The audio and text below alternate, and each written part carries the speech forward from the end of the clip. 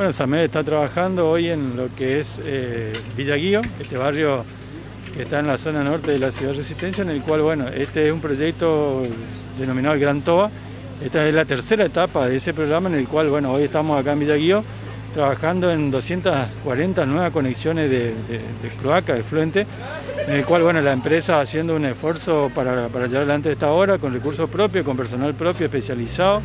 Así que muy contento de la empresa por poder brindar este, este, servicio a esta zona de la ciudad, agradecer a los vecinos por su colaboración, por su acompañamiento, no solo en, el acompañamiento eh, de ACAR, de estar con, los trabajadores, sino también con el pago de su factura, que ven que esa factura, el pago de su factura vuelve en obra que benefician a ellos y a toda la comunidad de esta zona de la ciudad. Además esto es brindar salud también.